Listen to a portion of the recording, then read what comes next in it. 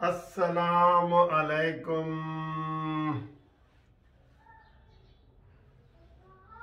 अच्छी खबर आ गई है। जनाब, आपको झाती वाली वीडियो भी आपके सामने आ गई है।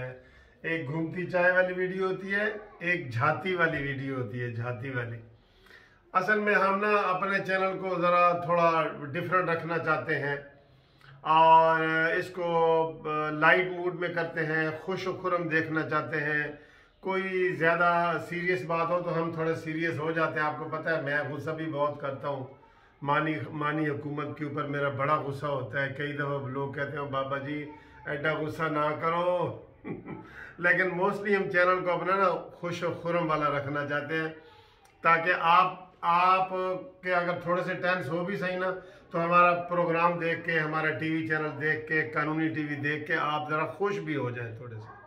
तो इसलिए भी थोड़ा सा बीच में हल्का फुल्का हल्की फुल्की जो है ना वो हम रखते हैं अपनी रागनी मौसीकी, ठीक है?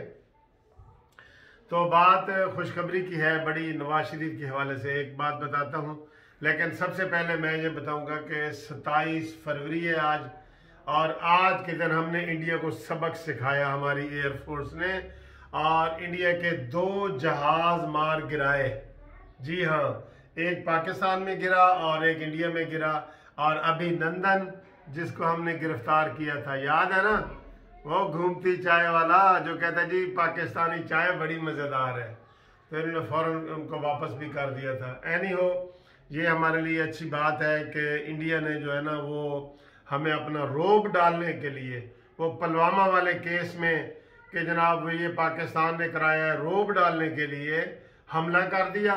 और वो हमला उन्होंने किया था, आपको याद है ना वो जहाँ एक कवा मरा था और चार दरख्त टूटे थे और वो भाग गए थे, वो बॉर्डर के घुसते ही ऐसे भाग गए थे।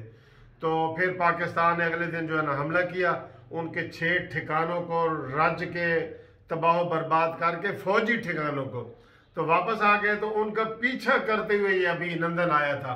तो जो ही ये हमारी फिजा में आए तो हमारे इनको जनाब, हमने इनको पकड़ लिया और मार दिया और पाकिस्तानी फौज ने फिर इसको, अभिनंदन को ज़िंदा भी बचा लिया। ये भी देखे, ज़िंदा भी बचा लिया। तो ये आज खुशी का दिन है।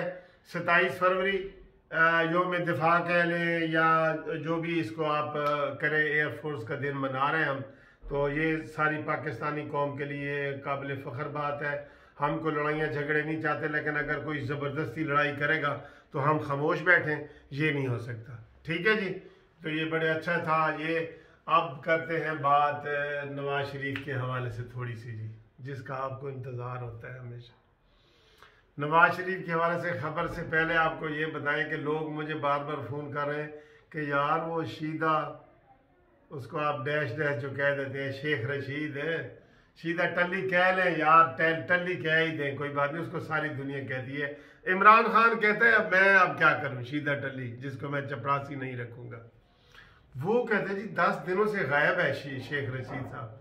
दस दिनों से गायब है कोई उसकी बड़क नहीं आई कोई उसकी पेशन गोई नहीं आई कुछ नहीं आया। तो ये हो क्या गया है? शेख रशीद साहब किधर भाग गए हैं? किधर मुँह छुपा के फिर रहे हैं?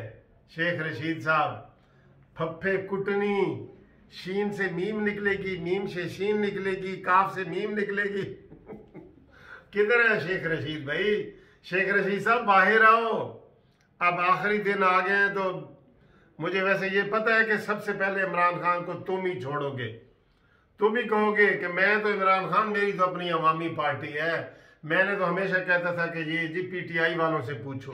पीटीआई पीटीआई वाले वैसे इसको ना, एम शेख रशीद को वो मैं कह दूँ फिक्रा, इसको अछूत समझते हैं, अछूत। यानी कि ये मजलिस में बैठा होता है, इसकी कोई इज़्ज़त वज्जत नहीं होती शेख रशीद की। वो कहते हैं वो यार, बस ये इमरान ने इसको रखा हुआ है। रखा हुआ है। अच्छा जी, ये बात है, अब खुशखबरी क्या है? शेख रशीद कितने गया तू?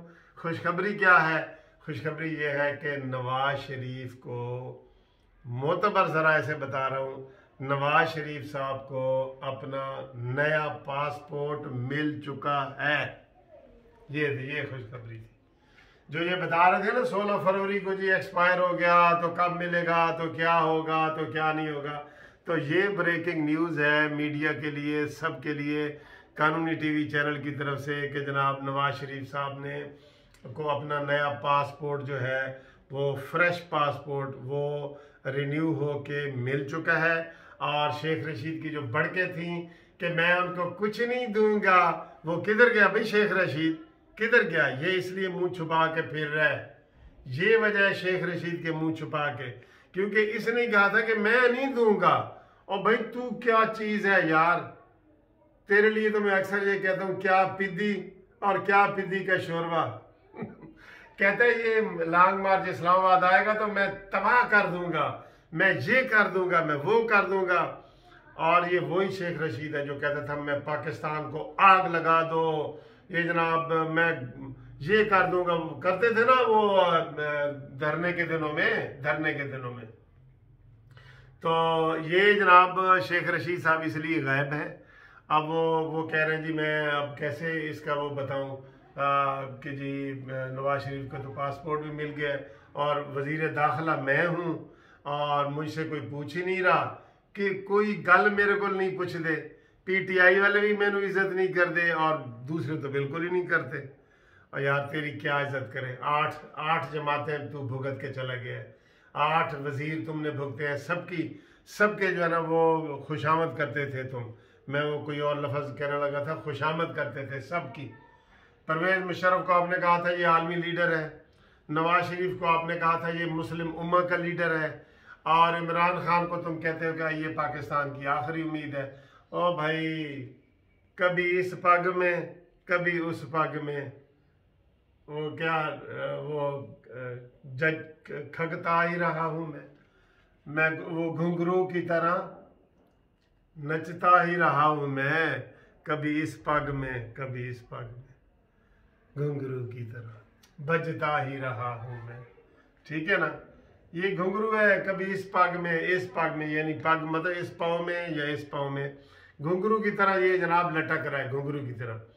तो ये जनाब आपको बता रहे हैं और दूसरा आज बिलावल भुट्टो साहब कोहाट में जलसा भी कर रहे हैं और वो भी ठीक ठाक वो खड़ा खड़ाकेदार जलसा कर रहे हैं। और ये मज़ीद खबरें ये आ रही हैं कि यूसुफ रोज़ा गिलानी का जो है वो इसमें क्या कहते हैं सेनेट में बहुत अच्छी पोजीशन हो गई है, बहुत अच्छी पोजीशन हो गई है। और अब ये खबरें जो आ रही है ना कि यूसुफ रजा गिलानी को अगर अक्सरियत वोट मिलते हैं ना, वो जीतता है तो इमरान खान के ऊपर अदम अतमाद खुद ब खुद हो जाएगा हो जाएगा। इसलिए कुछ कुछ भी लॉग्स बन रहे हैं कि जनाब वो इस्तीफा देने लगा है, या वो असम्बलियाँ तोड़ने लगा ये आप सुन रहे हैं ना, वो ये इसलिए सुन रहे हैं कि वो जो उन्होंने एक लोटा बनाया है क्या कहते हैं? वज़ीर ख़जाना। ठीक है, असद असद उमर भी उसको वोट नहीं देगा। ये भी मैं आपको आज बता रहा हूँ ब्रेकिंग न्यूज़ है ये भी।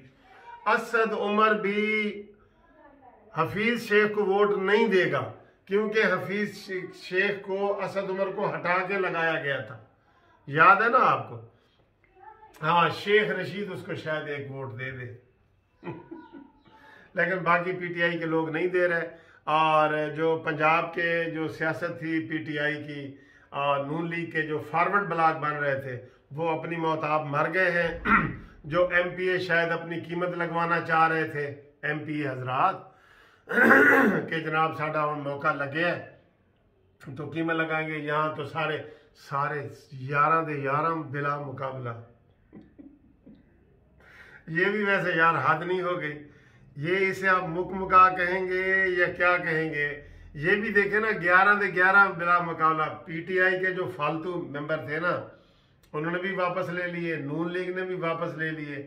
यार ये, ये फिर आम लोग पता की कहते कहते मज़ा मज़ा दिया भैन होंदिया ने। चले ये एक हिसाब से तो ठीक है कि बिला मुकाबला हो गए और इधर बोली मंडी और हार्स ट्रेडिंग नहीं हुई। है घोड़े का मेला नहीं ना लगा। हार्स ट्रेडिंग जिसे कहते हैं। तो इधर वो सारा कुछ हो गया। तो ये जनाब आपकी आज की सताईस फरवरी की ताज़ा वीडियो थी, जो आपके सामने मैंने ब्रेकिंग न्यूज़ बता दी है। नवाज़ शरीफ साहब को पासपोर्ट मिल चुका है और हूँ तुम लभो के शेख रशीद कितने मैं भी लभना ताज़ा तरीन खबर लिया के तो देना। ठीक है जी, उम्मीद है आप खरीय से होंगे। चैनल सब्सक्राइब करने, करवाने का बहुत शुक्रिया शेयर करने का बहुत शुक्रिया। थैंक यू खुदा हाफिज़